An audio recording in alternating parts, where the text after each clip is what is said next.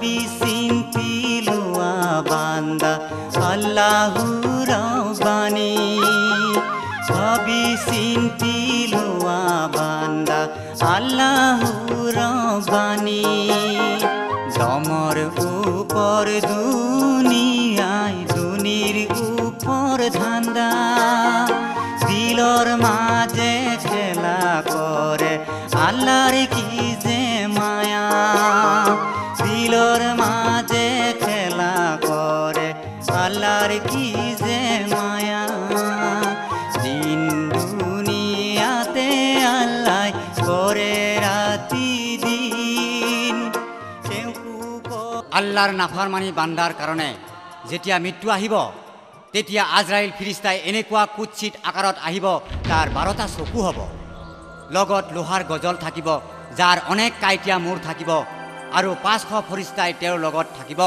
সিহঁতৰ হাতত দুজোখৰ আঙুঠা আৰু ধোঁৱা থাকিব চাবুক থাকিব যাৰ পৰা জুইৰ শিকা ওলাই থাকিব। মৃত্যুৰ ফৰিস্তাই লোহাৰ গজলটো তাৰ দেহৰ ভিতৰত সোমাই দিব। গজলবোৰৰ প্ৰতিটো খেপ তাৰ প্ৰতিডাল লোমৰ গুৰিৰে ভিতৰলৈ সোমাই যাব। সমস্ত ৰগত ধৰি ল'ব আৰু ৰগবিলাক জোৰেৰে টিপি টিপি ধৰিব আৰু টানিব। তাৰ ৰোহ ভৰিৰ নখেৰে খামুচি খামুচি উলিয়াব। সুভান আল্লাহ ভৰিৰ গেৰুৱাৰ ফালে লৈ যাব। এইদৰে খোদাৰ বান্দাই কঠোৰ শাস্তি পাব। আজাবৰ ফৰিস্তাই তাৰ মুখত এনে জোৰে মাৰিব আৰু ৰুহক টানি টানি আঁঠুলৈকে আনিব তাৰ পিছত কঁকালৰ পৰা বুকুলৈ বুকুৰ পৰা ডিঙিলৈ মাৰি মাৰি ৰুহ টানি আনিব। তাৰ পিছত ধোঁৱা আৰু জুইৰ আঙুঠা তাৰ ডিঙিত লগাই দিব। আৰু ফৰিস্তাই ক'ব হে অপবিত্ৰ ৰুহ অভিশাপ্ত ৰুহ শৰীৰৰ পৰা উৰাই আহ। লগে লগে ৰুহ ওলাই আহি নিজৰ শৰীৰক ক'ব ৰুহে নিজৰ শৰীৰক ক'ব তোক খোদাই নাশ কৰক। তই দুনিয়াত মোক খোদাৰ অবাধ্যতাৰ কাৰণে টানিছিলি ইবাদতৰ পৰা বঞ্চিত কৰিছিলি। তই নিজেও ধ্বংস হ'লি আৰু মোকো ধ্বংস কৰিলি। চিন্তা কৰক এনেদৰে শৰীৰেও ক'ব আৰু অভিশাপ দিব। যি যি মাটিৰ ওপৰত সি চলা ফুৰা কৰিছিল আল্লাহৰ নাফাৰমানি কৰিছিল সেই মাটিয়েও তাৰ ওপৰত অভিশাপ দিব। লগে লগে ইবলিছ ছয়তানৰ সৈন্যবিলাকে ইবলিছৰ ওচৰলৈ গৈ সুসংবাদ জনাব। আমি আজি এটা আদমক দুজোখত পেলালোঁ। আৰু যেতিয়া তাক কবৰত নিক্ষেপ কৰিব, কবৰ সংকোচ হৈ যাব। দুয়োফালৰ পৰা মাটিয়ে ঠেকি চেপি ধৰিব। যাৰ ফলত তাৰ হাৰ কামিহাৰ গুৰি হৈ যাব। লগে লগে আল্লাহ তালাই তাৰ ওচৰলৈ বহুতো অজগৰ সৰ্প পঠিয়াই দিব। সেইবোৰে তাক খুটিয়াই থাকিব। তাৰ পিছতেই দুজন ফৰিস্তা আহি সুধিব, হেই, তোৰ প্ৰতিপালক কোন? তোৰ দিন কি? তোৰ নবী কোন? সি উত্তৰ দিব, মই নেজানো মই নেজানো। লগে লগে ফৰিস্তাই তাক ক'ব, কিয়? তই জানা নাছিলি? তই পঢ়া নাছিলি? এই বুলি এনেকুৱাভাৱে মাৰিব যে কবৰ অগ্নিশিখাৰে ভৰি যাব। সুভান আল্লাহ আৰু ক'ব, ওচৰলৈ চা। সি চাব লগে লগে বেহেস্ত দেখিব। লগে লগে ফিৰিস্তাই ক'ব, হে খোদাৰ শত্ৰু, যদি তই আল্লাহৰ হুকুম পালন কৰিলিহেঁতেন, এয়া তোৰ স্থান হ'লহেঁতেন। তাৰ পিছতে দুজোখৰ এখন দৰ্জা খুলি দিব। আৰু তাক ক'ব হে খোদাৰ শত্ৰু তই আল্লাহৰ নাফাৰমানি কৰাৰ বাবে এয়াই হ'ব তোৰ বাসস্থান আৰু তাৰ কবৰলৈ দুজোখৰ সত্তৰখন দৰজা খুলি দিব। কেমাতৰ পৰ্যন্ত সি দুজোখত এই জুইৰ তাপ ধোঁৱা আহি থাকিব পাই থাকিব। এইদৰে তাৰ কেয়ামত পৰ্যন্ত কবৰত শাস্তি হৈ থাকিব। গতিকে ভাই মুছলমান চিন্তা কৰক যেন আল্লাহ পাকে আমাকো সুপথত চলিবলৈ তৌফিক দান কৰে দুজোখৰ পৰা বচাই বেহেস্ত নচিব কৰে। হে মোৰ দয়ালু খুদা কৰিবা আমালৈ দয়া। কৰিবা আমালৈ দয়া।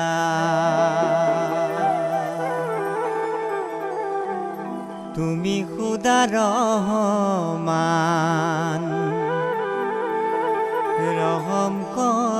Bye.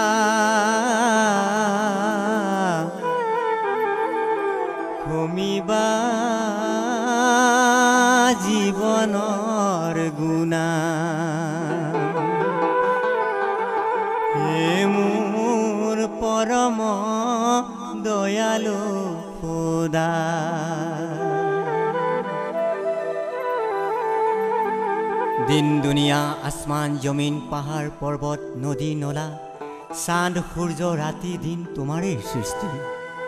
পশু পক্ষী হুৰ পৰি জিন ফৰিস্তা জীৱ জন্তু মানৱ ইনচান ওঠৰ হেজাৰ মুখলোকাত তোমাৰেই সৃষ্টি। তাৰে ভিতৰত সবাতোকৈ শ্ৰেষ্ঠকৈ বনালা মানৱ অৰ্থাৎ ইনচান। হে খুদা যদিও আমি গুণেগাৰ তোমাৰেই বান্দা।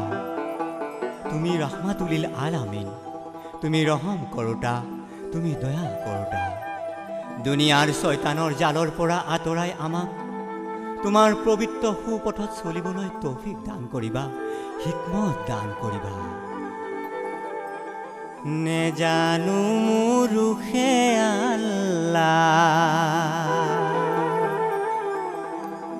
নেজানো মুৰুষে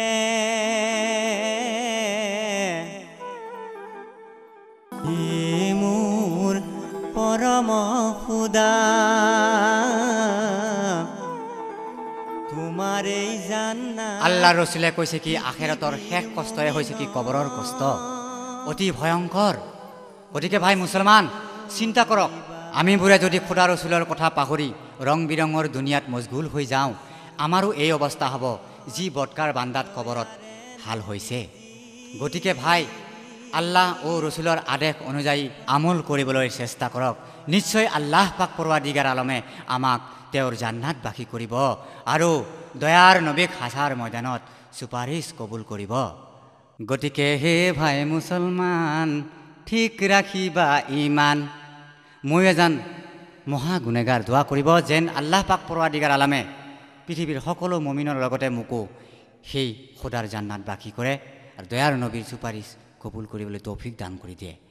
এইখিনিতে কবৰৰ চমু কথা সামৰণি মাৰিছোঁ। আজিলৈ ওমা আলাইনা ইল্লাল বালাত।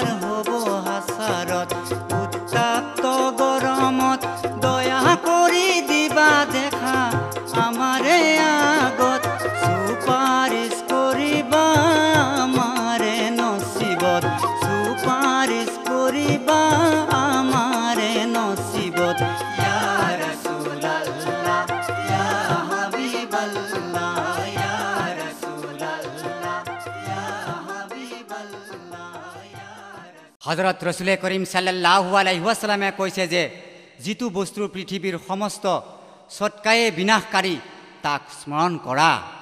এইকাৰণেই যে কবৰে প্ৰতিদিনে কয় তুমি আপোন জন্মভূমি এৰি মোৰ বুকুলৈ আহিবা। মই অকলশৰীয়া ঘৰ মই মাটিৰ ঘৰ। মোৰ পেটত সাপ বিচু আৰু পোক পৰুৱা আছে। যেতিয়া মমিন বান্দাক দফন কৰা হয় তেতিয়া কবৰে কয় তোমাৰ ইয়ালৈ অহাটো মোবাৰক হওক।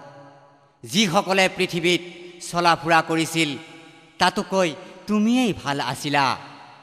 এতিয়া তুমি মোৰ বুকুলৈ আহিছা তোমাক মোলৈ অৰ্পণ কৰা হৈছে। এতিয়া মোৰ মেহৰবানী চাই লোৱা লগে লগে কবৰ ঠেকি আহিব। হাৰ কামি হাৰ চিহ্ন বিচ্ছিন্ন হৈ ভাগি যাব। হজৰত আবুল হাজাজ চিয়ামি ৰাদিয়ালা আনহুৰ পৰা বৰ্ণনা আছে আল্লাৰ নবীয়ে কৈছে যে কবৰত যেতিয়া মুৰ্দাক ৰখা হয়, তেতিয়া কবৰে মুৰ্দাক কয়, তই জানা নাছিলিনে মই আজাবৰ ঘৰ হওঁ, মই এন্ধাৰী কোঠালি হওঁ। হে আদমৰ সন্তান, তই বৰ অচেতন হৈ আছিলি। গৌৰৱ মাৰি মোৰ ওপৰত বুকু ভিন্দাই ফুৰিছিলি। আজি তই চাই লোৱা মোৰ মেহেৰবানী আৰু মোৰ কাম। কবৰে আকৌ কয় তই যদি নেককাৰ বান্দা হলি হয় ভাল কামৰ বাবে উৎসাহ দি দি মই তোৰ বাবে কবৰ সেউজীয়া বাগিচা হৈ গ'লোহেঁতেন। আৰু আজি তোৰ শৰীৰ নূৰেৰে নূৰ হৈ গ'লহেঁতেন। যি বান্দাই আল্লাহৰ নেক আমল লৈ মোৰ ভিতৰলৈ আহে সি মোৰ ওপৰত সন্তুষ্ট হৈ কায়ামতৰ দিনাখন কবৰৰ পৰা উঠিব। আৰু যিজন বান্দা অধম হৈ মোৰ ভিতৰলৈ আহিব সি মোৰ দ্বাৰা নাক হৈ কায়ামতৰ দিনা উঠিব। আল্লাহৰ হবিবে কৈছে যে, হে মানুহবিলাক, তোমালোকে নিজৰ কবৰৰ ব্যৱস্থা কৰা। এইকাৰণেই যে কবৰে প্ৰতিদিনে সাতবাৰকৈ তোমালোকক কয়, হে আদমৰ সন্তান, তোমালোক বহু দুৰ্বল, মোৰ আপত সহ্য কৰিব নোৱাৰিবা। গতিকে তোমালোকে জীয়াই থাকোঁতে নিজৰ জীৱনক নিজৰ ওপৰত দয়া কৰা। মোৰ ভিতৰলৈ অহাৰ আগতে, তেতিয়াহে মোৰ আজাবৰ পৰা মুক্তি পাবা। মুৰ্দাক যেতিয়া কবৰত ৰখা হ'ব তাক আজাদ দিয়া হ'ব তেতিয়া তাৰ নিকটৱৰ্তী মৃত্যকে চিঞৰি চিঞৰি কয় হে লোকজন তোৰ সন্মুখতে তোৰ ভাই দুনিয়াৰ পৰা অতিক্ৰম কৰিলে আৰু তই জীৱিত আছিলি কিন্তু তাক দেখি তই আদৰ্শ নললি। আমিও তোৰ সন্মুখত দুনিয়াৰ পৰা বিদায় লৈ আহিলোঁ কিন্তু তই তোৰ আমল নকৰিলি। তাৰ পাছত কবৰৰ মাটিয়ে চাৰিওফালৰ পৰা চিঞৰি চিঞৰি ক'ব হে অচেতন তোৰ ঘৰবাসীক দুনিয়াই তোক সন্মুখতে ঠগিলে আৰু তাতোকৈ আগতে মৃত্যুৱে সিহঁতক কবৰৰ পথ দেখুৱালে আৰু তই দেখিলি যে সিহঁতক উঠাই লৈ গৈছে কবৰত দফন কৰিলে। তাৰ বন্ধু বান্ধৱ সকলোৱে কান্দি কান্দি ৰৈ গ'ল হে অচেতন তই সিহঁতৰ পৰা কিয় আদৰ্শ নললি? আজি তোৰ কন্দা কটাই কোনো কামত নাহিব। গতিকে ভাই মুছলমান চিন্তা কৰক যি বান্দাই অধিক পৰিমাণে কবৰৰ সোঁৱৰণ কৰিব তাৰ বাবে কবৰ বেহেস্তৰ বাগিচা হৈ পৰিব আৰু যি বান্দাই কবৰক সোঁৱৰণৰ পৰা বিৰত থাকিব তাৰ বাবে কবৰ দুজোখৰ গাত হৈ যাব।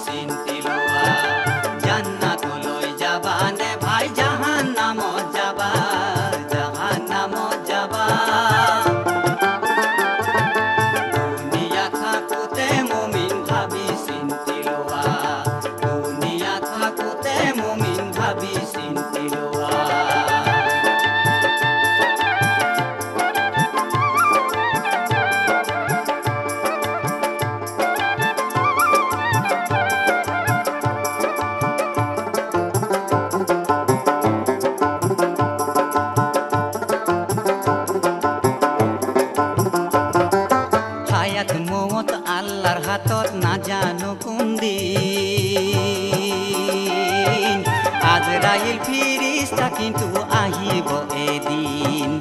আজরাইল ফিরিস্তা কিন্তু আহিব এদিন। নেকি যাব নেকি হালে বদি রবসাই নেকি যাব নেকি হালে বদি রবসাই এন্ধারি কবরত কিন্তু নাপাবা সহায়। হাই হাই নাপাবা সহায়।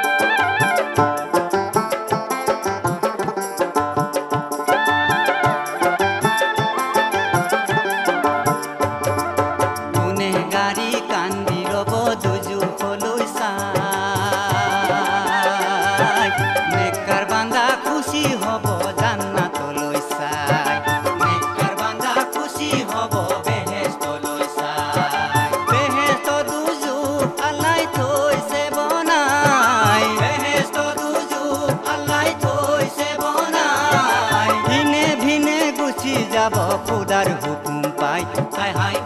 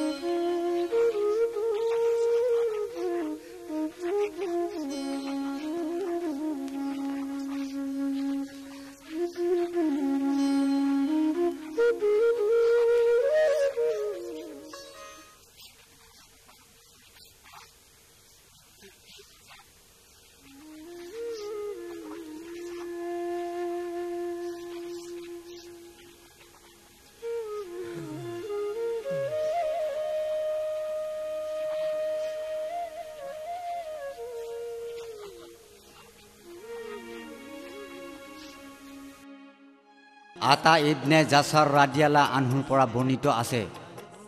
কোনো কোনো এনে ঘৰত নাই য'ত মৃত্যুৰ ফৰিস্তাই প্ৰতিদিনে পাঁচবাৰকৈ মানুহক বিচাৰে। য'ত এনে মানুহ আছে যাৰ ৰোহ কবচ কৰিব পাৰোঁ। বৰ্ণনা আছে যে প্ৰত্যেক ঘৰৰ দুৱাৰমুখত মৃত্যুৰ ফৰিস্তাই থিয় হৈ দিনত সাতবাৰকৈ লক্ষ্য কৰে যে ইয়াত কোনো মানুহ আছে নেকি যাৰ ৰোহ কবচ কৰিব পাৰোঁ।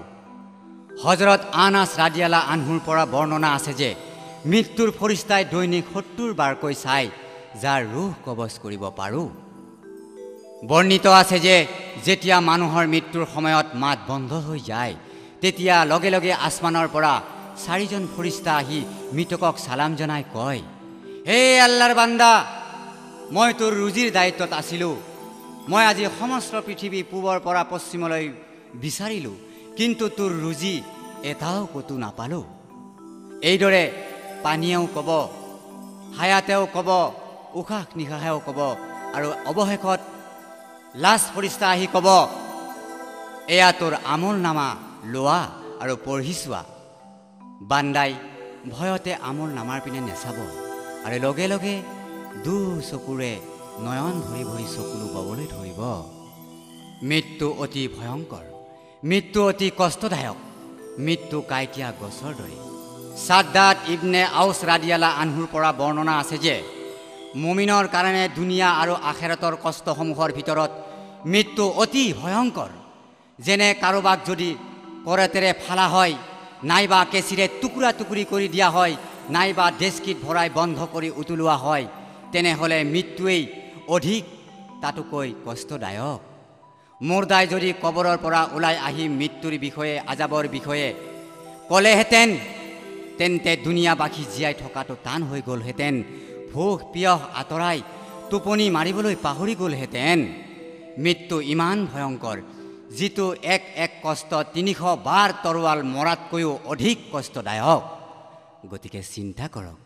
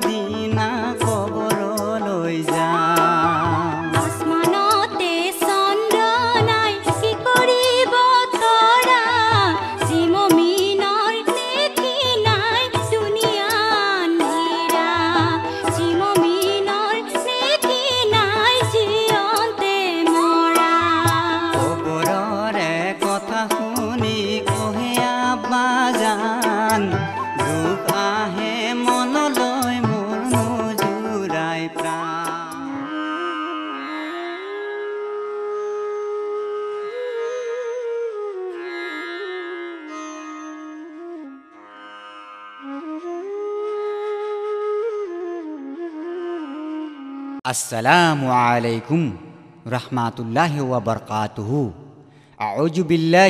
শাইতানিৰ ৰাজিম বিসমিল্লাহিৰ ৰহমানিৰ ৰহিম হে আল্লাহ ও ৰচুল বিশ্বাসী মমিন ভাই মাইসকল পৃথিৱীৰ বুকত আমি এদিন জনম লভিছোঁ। আৰু এদিন নিশ্চিত মনে যাবই লাগিব এন্ধাৰীৰ কবৰৰ বুকুলৈ। সেয়েহে আল্লাহ পাকে কাৰ নচিবত কি লিখিছে সেই কথা কোনেও নেজানো। যিদিনা আমাৰ মৃত্যু হ'ব যিদিনা আমি কবৰত সোমাম আমাৰ সিদিনা প্ৰথম ৰাতি হ'ব কবৰত। নাজানো আমাৰ কি গতি হয়। তাৰেই চমু কাহিনী বৰ্ণনা কৰিবলৈ ওলাইছোঁ। অজানিতে হোৱা ভুলৰ বাবে মাৰ্জনা বিচাৰি। এয়া শুনোৱা হওক কবৰত প্ৰথম ৰাতি।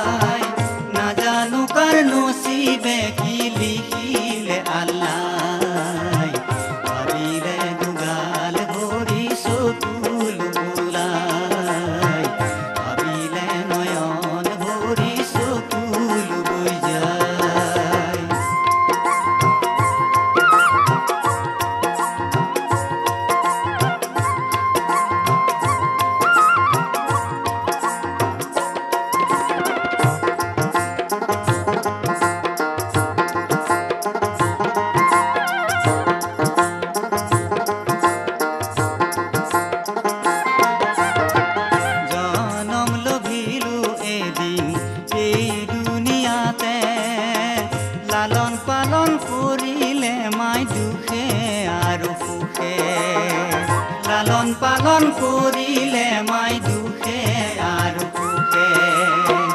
যাবইতো লাগিব এদিন কবৰৰ বুকে। আজৰাইলে ধৰি নিব চকুৰ পলকতে। আজৰাইলে ধৰি নিব চকুৰ পলকতে।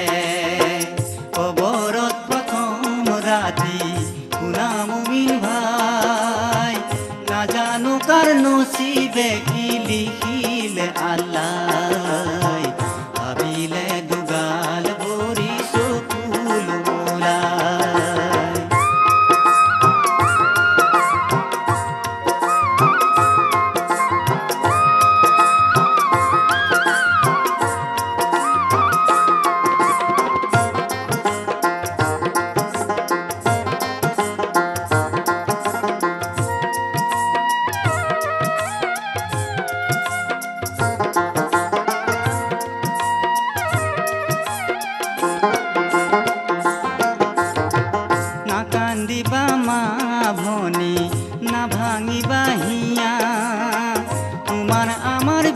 বিচাৰ হ'ব কেয়ামতৰ দিনা? তোমাৰ আমাৰ বিচাৰ হ'ব কেয়ামতৰ দিনা? নেক বান্দা গুচি যাব বেহেস্ত বাগানে গুনেগাৰে কান্দি ৰব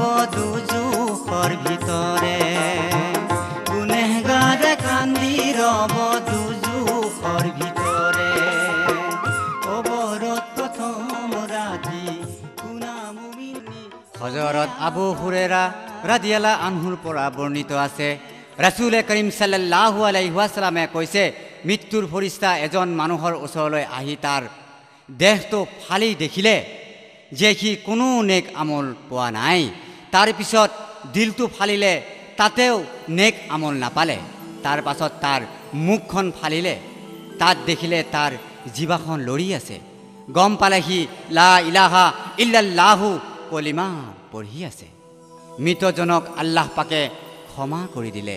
সেই কলিমাৰ বৰকতত চিন্তা কৰক দয়াৰ নবী চাল্লাহু আলাইহাছালামে আকৌ কৈছে যি ব্যক্তিয়ে মৃত্যুৰ সময়ত লা ইলাহা ইল্লাল্লাহু আল্লাহু আকবৰ ওলা হাউলা ওলা কৌৱতা ইল্লা বিল্লাহিল আলি আজিম ক'ব তাক দুজখৰ জুয়ে কেতিয়াও পুৰিব নোৱাৰে আন এটা বৰ্ণনাত ৰচুলে কৰিম চাল্লাহু আলাইহাছালামে কৈছে যে হজৰত ইউনুছ আলাইহিৱাছালামৰ দোৱা অৰ্থাৎ লা ইলাহা ইলা আন্তা সুবাহানাকা ইন্নি কুন্তুমিনা জোৱালিমিন যি মুছলমানে নিজৰ মৃত্যুৰ বেমাৰত চল্লিছ বাৰ এই দোৱা পঢ়ি মৰি যাব অৰ্থাৎ মৃত্যু হ'ব তাক আল্লাহ তালাই শ্বহীদৰ চোৱাব দান কৰি দিব। আৰু যদি সি বেমাৰৰ পৰা ভাল হৈ যায় আল্লাহ পাক পৰোৱাৰ দিগাৰ আলমে তাক গুনাহৰ পৰা মুক্ত কৰি দিব। গতিকে ভাই মুছলমান, আল্লাহ ও ৰচুলৰ আদেশ অনুযায়ী শরীয়ত মোতাবিক পবিত্র সুপথত চলি সদাৰ বন্দেগী কৰাটো আমাৰ একান্ত পবিত্ৰ কৰ্তব্য।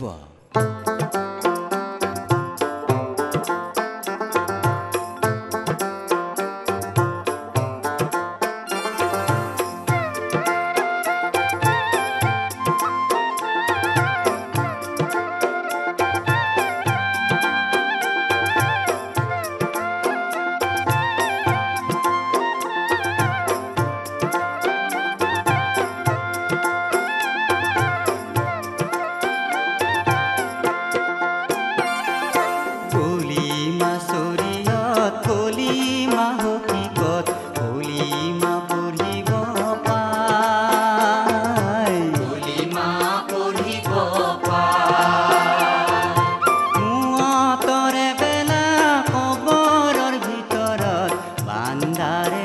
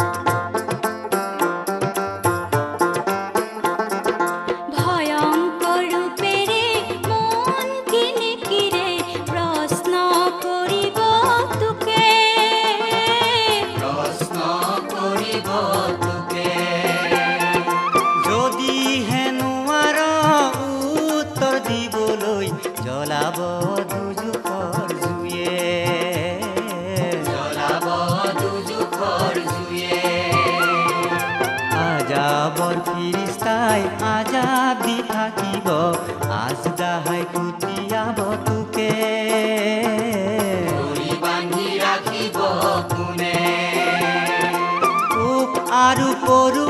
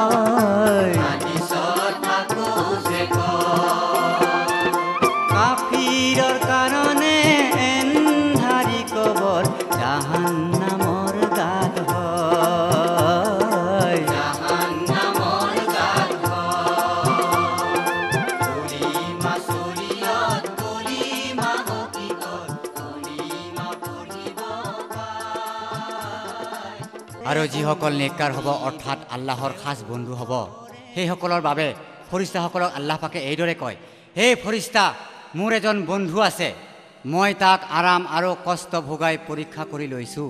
সি প্ৰতিটো অৱস্থাতে মোক ভাল পায় গতিকে তাৰ ওচৰলৈ যাওঁ যাতে দুনিয়াৰ দুখ আৰু বিপদৰ পৰা তাক আৰাম দিওঁ। লগে লগে মৃত্যুৰ ফৰিস্তাই পাঁচশ ফিৰিস্তা লগত লৈ তাৰ ওচৰলৈ যায়। তেওঁলোকৰ লগত তাৰ বাবে কফন আৰু সুগন্ধি সুগন্ধি ফুলৰ শৰাই থাকিব যাৰ এডাল শিপা হয় যাৰ মূৰত বিছতকৈও অধিক ৰঙৰ সুগন্ধি ফুল থাকিব আৰু প্ৰতিটো ফুলৰ সুগন্ধি বেলেগ বেলেগ হ'ব। তেওঁলোকৰ লগত বগা ৰেচম থাকিব আৰু নিখুঁত আঁতৰ থাকিব। মৃত্যুৰ ফৰিস্তাই তাৰ শিতানত বহিব আৰু বাকী ফৰিস্তাসকলে তাক ঘেৰি থাকিব আৰু নূৰেৰে ভৰি পৰিব। ভৰিৰ পৰা ডিঙিলৈ বেহেস্তৰ ৰেচম উৰাই দিব।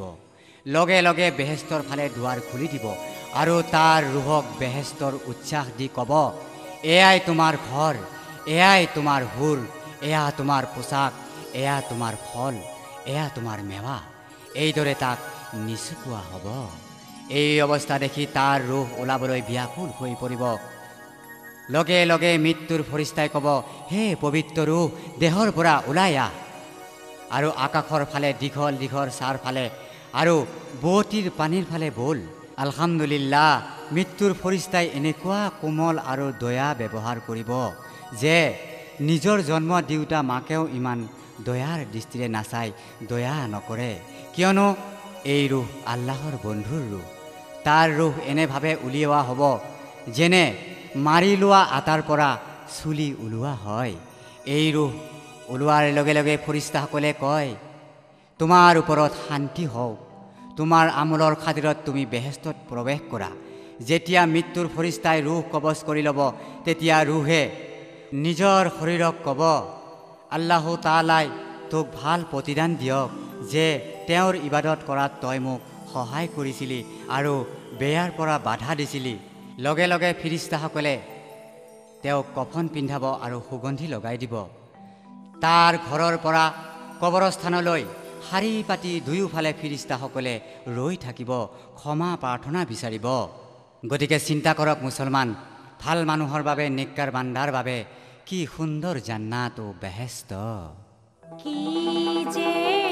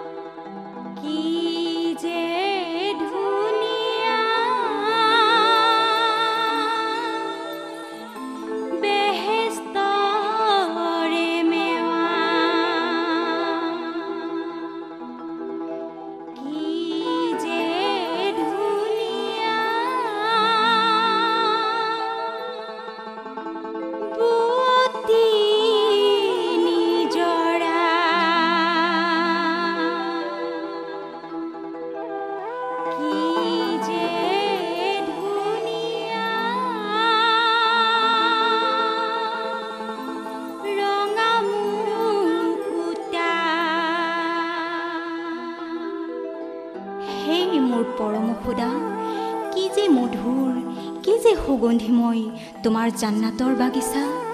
ফল ফুলেৰে ভৰপূৰ মণি মুকুতাৰে সজোৱা তোমাৰ এই বেহেস্ত মোক নচিব কৰিলা। তুমি মহান খুদা সেই খুদা তুমি অতি দয়াবান। মোৰ দৰে বাকী পৃথিৱীৰ মমিনকো এই জান্নাতৰ অংশীদাৰ সৌভাগ্যৱান হ'বলৈ তৌফিক দান কৰিবা।